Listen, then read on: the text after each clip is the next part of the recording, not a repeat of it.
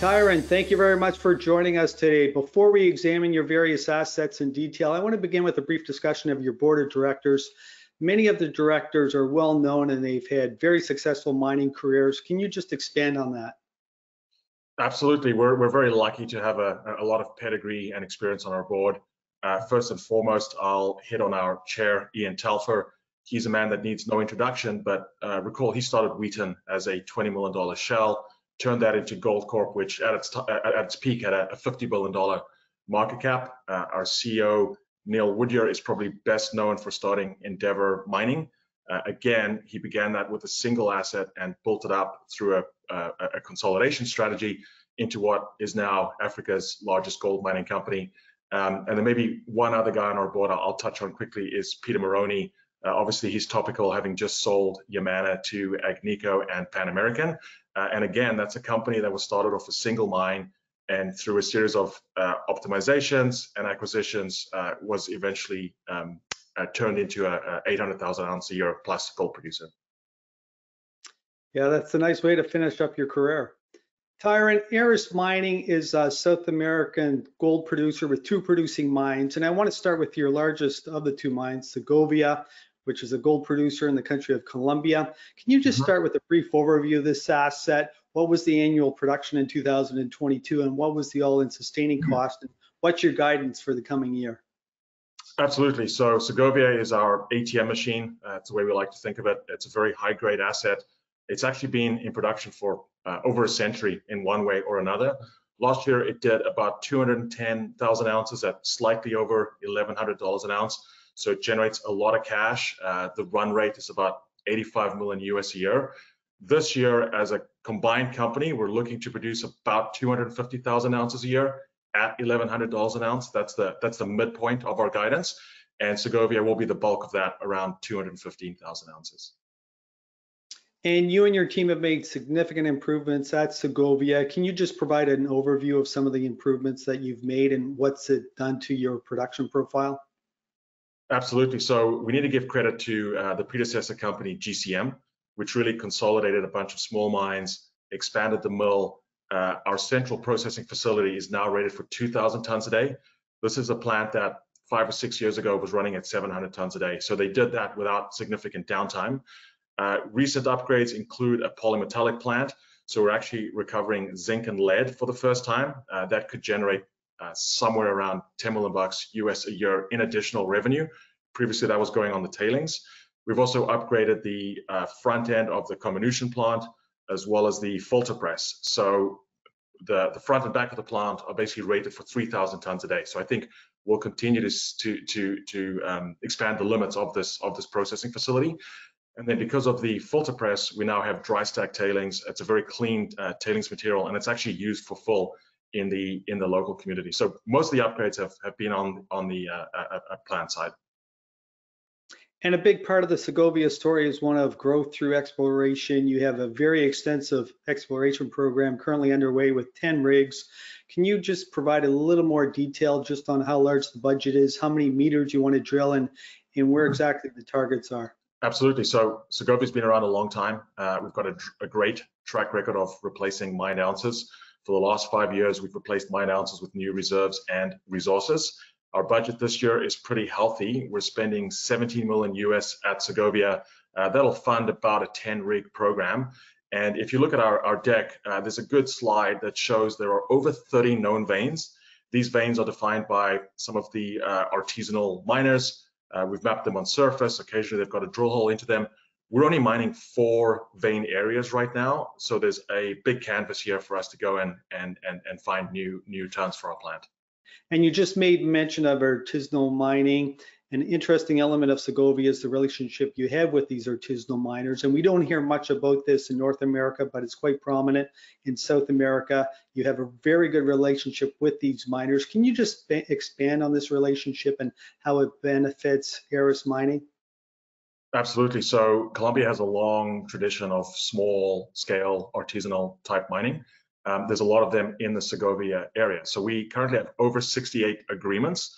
These agreements are with cooperatives or private mining uh, enterprises. Uh, it covers about 3,000 individuals.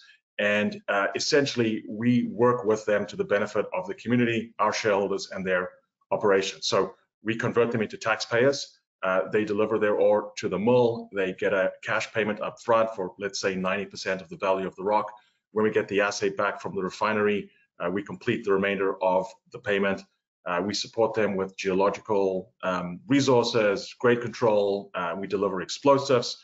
We ensure that they sign on to our safety standards. And most importantly of, of all, we get around 95% recoveries, uh, upwards of 95%. Uh, with their traditional stamp mills, they're getting closer to 40%. So there's a lot of extra margin there, and their businesses can actually be more profitable, safer, and as some of our, our um, artisanal miners will say, uh, legal mining is profitable mining. So we started with one contract a couple of years ago. We have 68 contracts now, and uh, it really helps with our production profile. So they contributed about 15% of our ounces last year. And that's one of the reasons expanding the mill is so important because that excess capacity can always be filled by some of these artisanal sources. The other thing I'll flag is our grade. So if you go through our um, financial uh, disclosure, uh, the grade is very steady. And one of the reasons it's so steady is at any given time, we have a one to two month stockpile on surface. A lot of that comes from artisanal sources is very high grade, sometimes over 40 grams a ton. So we can we can always blend the ore and make sure we're sending the mill uh, a steady grade. And that's one of the reasons that Segovia has been so profitable. And Tyron, you just made mention of the fact that the artisanal miners contribute to 15% of your production at Segovia. Are you looking to add or grow this aspect of your business? Absolutely. So we have a commercial team on site that's always looking for new agreements. Uh, as I mentioned, the mill looks like it uh, has yet to find its limits, and we can fill that excess capacity with these artisanal agreements.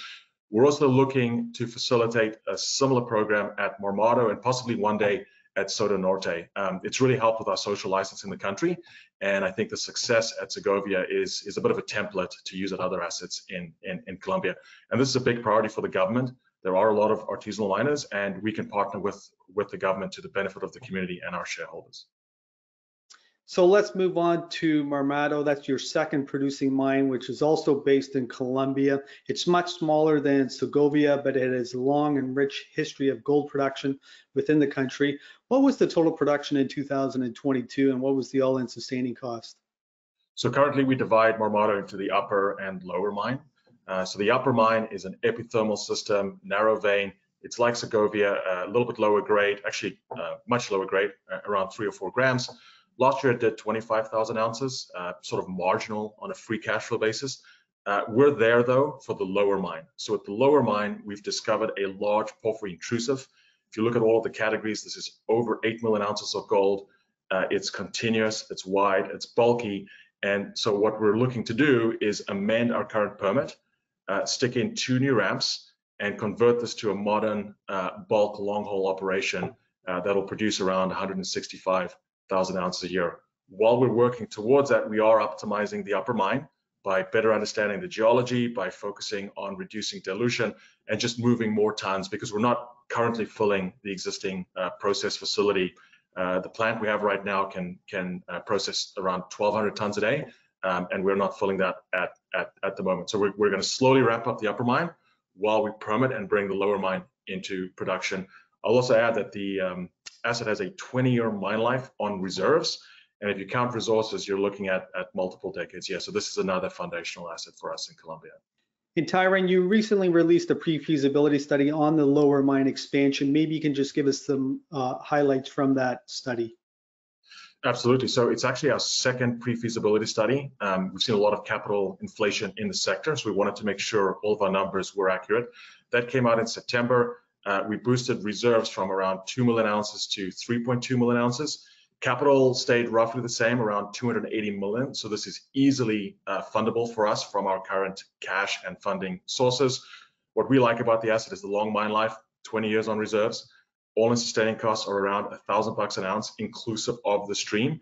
And it's a simple project, and we're just expanding an existing mine. So we're not breaking ground in the middle of the jungle.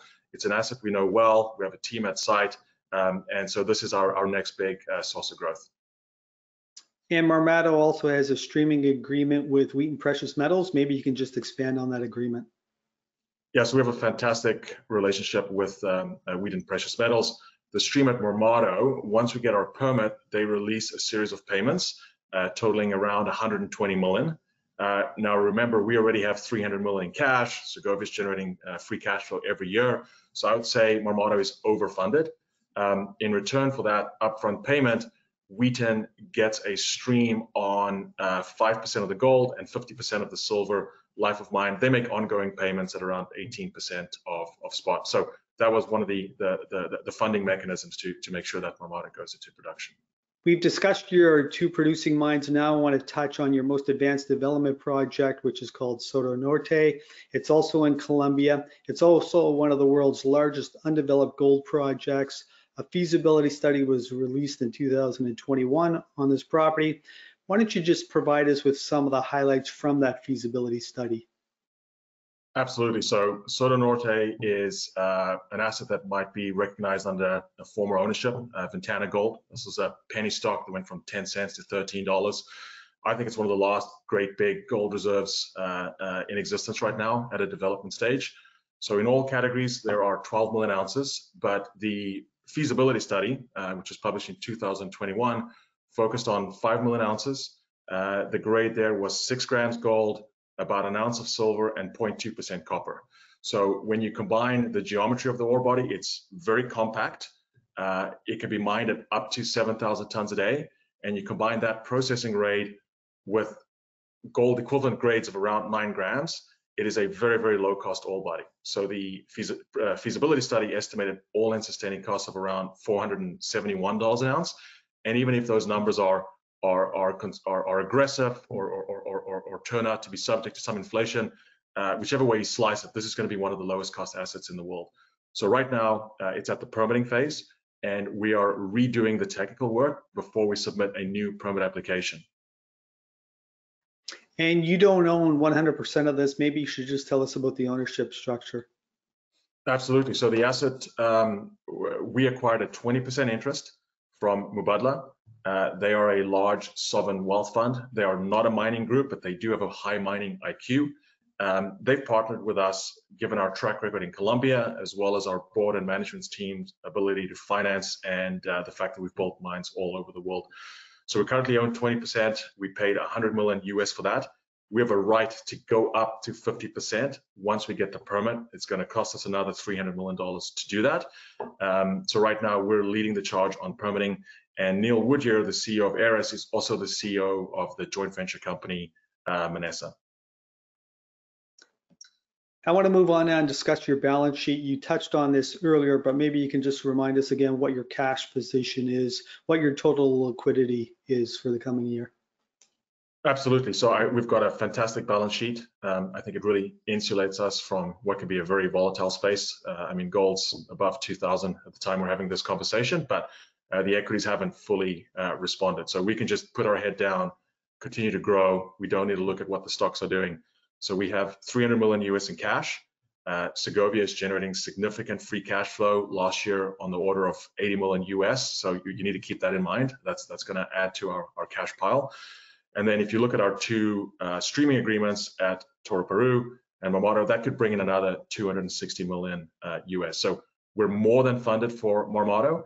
And if you look out to when both Segovia and Marmato are running at uh, full capacity, we're generating about 300 million in in, in EBITDA a year. Um, so strong balance sheet, and I think uh, the management team, uh, the board, and embedded growth is one of the things that separates us from our from our peer group. And given your cash position, would you consider acquiring another asset in Colombia or somewhere else in South America? You also own a exploration project in the Abitibi Gold Belt area of Canada. Would you think about or consider acquiring uh, another project in Canada? Uh, well, I mean, if you look at our board, uh, they have a track record of being very aggressive on M&A. If you look at how quickly uh, Neil built up Endeavour and how quickly Telfer built up Goldcorp, uh, that's in their DNA. Uh, we have a great team. We have access to capital, so certainly we'd look to leverage that to grow the company. We also believe that in this gold market, the funds are bigger, so the gold companies need to become bigger. Uh, that being said, we've got a lot of development ounces, over 20 million ounces in all categories. We need more production assets. So I think if we're looking to grow, it's probably going to be a producing cash flowing asset and we'll, and we'll protect our cash. Uh, one of the issues we have is we think our stock is, is very un- undervalued. Uh, we have six or seven analysts covering us. I think our consensus PNAV is around 0.3 times NAV. Um, but absolutely, we are uh, opportunistic. We're making sure we understand our peers and targets in the space, and we have a board that has a fantastic network uh, and can actually get get deals done. So we are ambitious. Um, so I would say stay tuned on that front. But our cash right now is earmarked for Marmato. That's our focus: is get that into production. Tyron, as we wrap up, you've already provided a lot of detail about your various assets and what you're going to do in the coming year, but maybe you can just summarize what investors can expect in terms of news flow in the coming months. Absolutely. So I think the biggest catalyst for our company is permitting Marmato, getting it into production. Once Marmato is running, we're producing 400,000 ounces a year. That's a lot of growth, and I think it's going to drive a better uh, multiple. Um, and I think it's going to prove that uh, Colombia is a jurisdiction that is open to responsible uh, miners and responsible mining entrepreneurs. So that's going to be a big catalyst. And so I would say continued execution at Segovia and Marmato. You also need to watch our drill bit. Uh, we don't need to take geologic risk. We have a lot of ounces in the ground. That being said, I think all of our assets are geologically uh, prospective, so we will look to put out um, uh, updates on, on, on an interim basis. Tyron, that was a great overview of Aris Mining, and I want to thank you for sharing the story with us today. And we look forward to upcoming developments at Aris Mining in the coming months. Once again, thank you. Thanks for having us.